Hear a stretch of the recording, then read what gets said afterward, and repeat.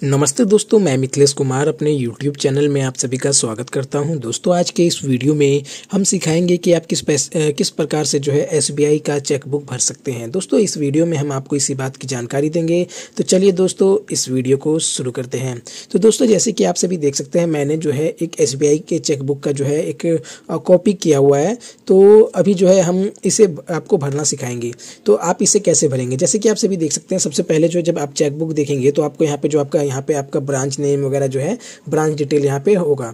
और यहाँ पे जो है आपका आ, ये देखिए इस जगह आपको डेट भरना होता है। तो यहाँ पे देख सकते हैं डी डी मतलब कि यहाँ पे डेट इसके बाद एम एम का मतलब होता है मंथ और यहाँ पे वाई का मतलब होता है ईयर आपको इसमें पहले आपको जैसे कि आज यहाँ पे आज दस तारीख है तो मैं यहाँ पे जो है दस इसके बाद मंथ में हम डालेंगे एक इसके बाद यहाँ पे हम जो है दो हज़ार तेईस डाल देंगे।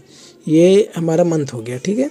तो अब ये जो हमने मंथ डाला है, इस मंथ से मतलब इस डेट से, इस डेट से आप जो है तीन महीने तक जो आज की डेट से मतलब कि तीन महीने बाद तीन महीने के अंदर जो है आप इस चेक का यूज़ कर सकते हैं, अगर डेट डल चुका है तो।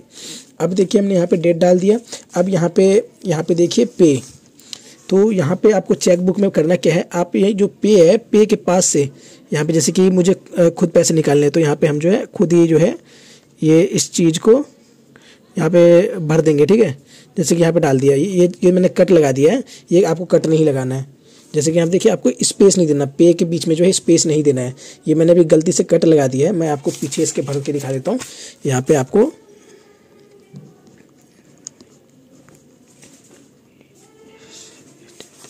तो देखिए जैसे कि यहाँ पे पे लिखा हुआ है तो पे के साथ में ही जो है मैंने अपना नाम डाल दिया है। अगर आप किसी और को चेक देना चाहते हैं तो आप यहाँ उसका नाम डालेंगे।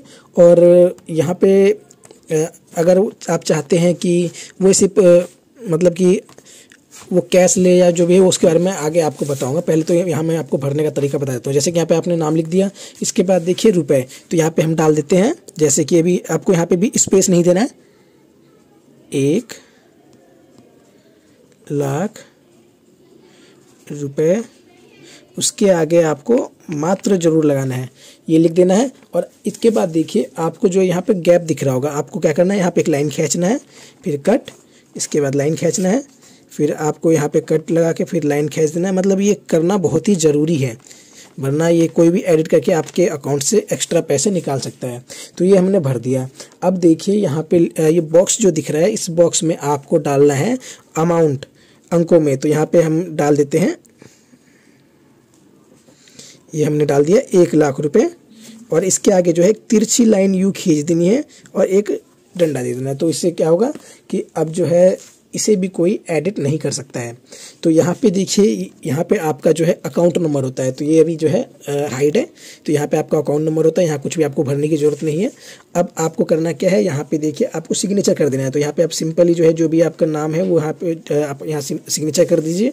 सिग्नेचर करने के बाद जो है, आपका चेक कंप्लीट हो चुका है। ये मैंने इधर इसकी कॉपी निकाली थी तो यहाँ पे देख सकते हैं डेट मैंने डाल रखा था तो इसमें मैंने अभी डेट नहीं डाला है।